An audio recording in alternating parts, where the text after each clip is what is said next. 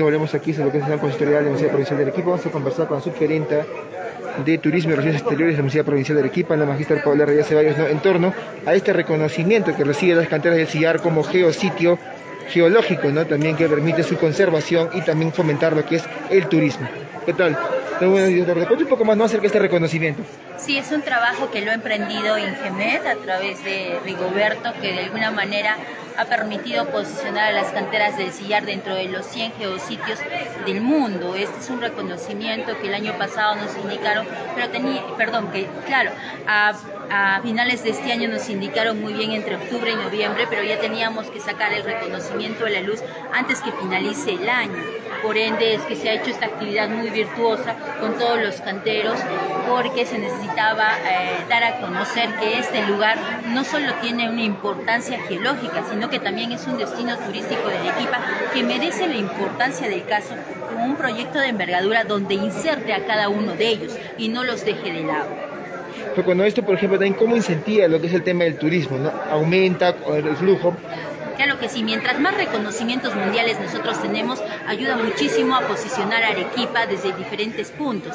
Y mejor si es que ahora ya está viendo, siéndose visto por el lado de la vulcanología, porque van a venir expertos a querer estudiar cómo es que será la ignimbrita en sus diferentes facetas.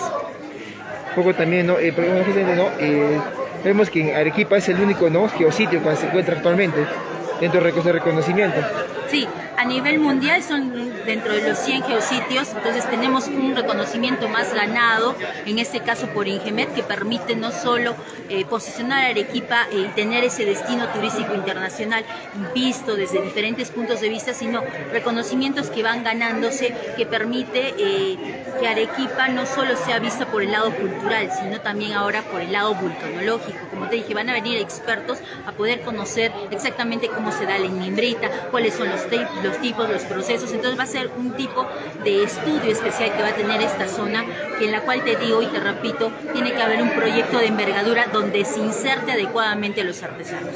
Porque cambiando de tema, también ¿no? que eh, nos han quitado la sede del Congreso Mundial de Lengua Española. ¿Cómo este afecta ¿no? el tema del turismo? Porque vemos que la llegada de estas personas a impulsar mucho este tema Nosotros tenemos previsto que iban a llegar una cantidad de más de 200 invitados eh, entre España y otros lugares de Europa para este Congreso de la Lengua. Los reyes de España jalan mucho la visita de muchos, periodismo y muchas personas alrededor de, porque solo contar con la presencia de los reyes de España en Arequipa significa contar con mayor cantidad de camas eh, vendibles para el, que es establecimientos hoteleros, mayor cantidad de personas que se va a transportar. Muchos de los casos de muchos de los casos de, cómo es que se han dado las rutas, se han ido perdiendo las, rutas que han venido de, de ¿no? o de JET, porque ya han estado comprando pasajes. Entonces, eh, nos dicen de que por este tema de conflicto que tiene el Perú de manera general, nos han eh, postergado unos años más para poder realizar este Congreso. Claro, porque existe la inseguridad y ver una autoridad política si es que viene o no vienen los, reyes de España. Ellos no se harían ningún inconveniente por venir, pero ya no vendrían con la, con la posición de reyes como tal.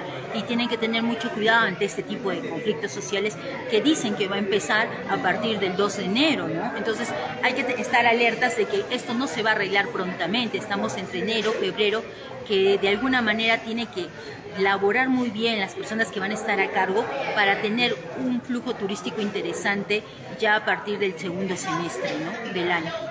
Poco también justamente ahora no se también sobre esto, ¿no? este reinicio de protestas que se va a ver a partir de la primera semana de enero, ¿cómo está afectando también? Porque vemos que a inicio de año, sobre todo no el tema de las playas, donde mediante recibe ese sector turístico, ¿cómo va a afectar también esto, ¿no? ese sector? Va a perjudicar enormemente todo el, tema de, verano en Arequipa. Arequipa de alguna manera se destinan muchos de los arequipeños y muchos de algún público de la mancomunidad suroriental, llámense cusqueños, llámense de Puno, que se van hacia las playas, ya sea de Camaná, Islay y Carabelí, porque tenemos Arequipa el litoral más extenso del país y que de alguna manera ya está visto por eh, diferentes demandas turísticas, incluso la boliviana, a poder visitar las playas. Eso yo creo que en el primer semestre se va a ver abajo, por lo menos en el primer mes, porque no vamos a poder disfrutar de las playas como se debiese, ¿no? Por este tema de conflictos, por este tema de si es que te vas no vas a poder regresar, va a ocurrir algo, entonces ya la gente está un poco temerosa e incluso están comprando más cosas para eh, eh, no poder eh, ser mm, captados por el tema de que si se cierran las carreteras no va a haber alimentos, entonces creo que ahora han aprovechado esta semana para poder comprar más, más, más, más temas de, comida,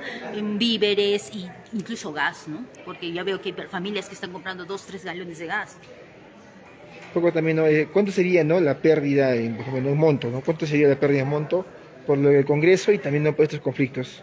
Por el Congreso es un 100%, porque no solo se va a ver Arequipa como ciudad, venían por una cantidad de días, que pueden ser unos 5 días aproximadamente el evento, pero se destinan unos 15 días, porque no van a ir a Arequipa netamente, van a ir a Cusco a visitar, van a ir a Lima, van a ir a otros recursos como atractivos turísticos que tiene Perú en sí. Entonces, todo este tema turístico se nos viene abajo, entonces las pérdidas son al 100% porque adicionalmente a que la ciudad se tenía que recomponer y, visualizarse mejor en el aspecto de restaurantes, en el aspecto de hotelería, pues íbamos a tener una mirada desde otro lado del mundo, indicando que se está realizando un evento de envergadura con la presencia de personas importantes para, para España, ¿no? Entonces, el Juan Cervantes, bueno, eh, perdón, el Instituto Cervantes de España de alguna manera ha considerado de que por estos temas de conflictos sociales y lo que ha sonado mucho, que han tomado el aeropuerto Arequipa, eh, no hay posibilidades de entradas por la carretera eh, que nos lleva directamente a la capital, entonces mm, hay un peligro latente posiblemente a, futuro y eso en dos meses no se va a recomponer tan rápido y eso permite a que nos den al Congreso un tiempo más, ¿no? Cada tres años se celebra el Congreso, por lo cual en nuestros tres años, cuando ya finalice la gestión que va a ingresar, van a poder eh, mm, mostrar un Congreso de envergadura y un Congreso como debe ser, porque van a tener todos los mecanismos necesarios para avanzar con su gestión y poder realizar. No es que ahora nosotros finalizamos y podían avanzar en tres meses, entonces tienen muchísimas más ventajas de posicionar mucho mejor al equipo en vitrina. Muchísimas gracias, Magister. Gracias. Palabras de la Magister Paula Reyes, subgerente de Turismo y Relaciones Exteriores de la Provincial de Arequipa, que ha manifestado su preocupación también en todos los temas. Ha indicado por su lado que esto ¿no? va a promover bastante el turismo, dado que mientras más títulos tenga un lugar, más va a ser atractivo para el turismo que viene a Arequipa. Ha indicado que las canteras de sierra, ser reconocido como geositio geológico, va a tener mayor llegada para los turismos nacional e internacional.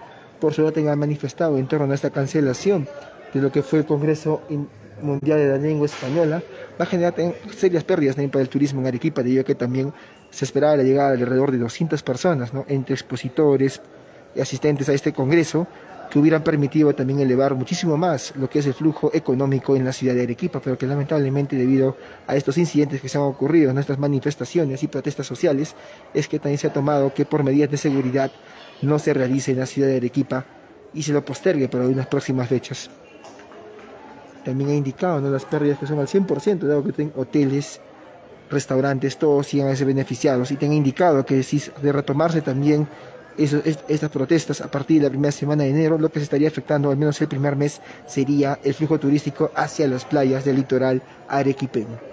Esta es la información que vamos a esta hora de la mañana, volvemos con más información.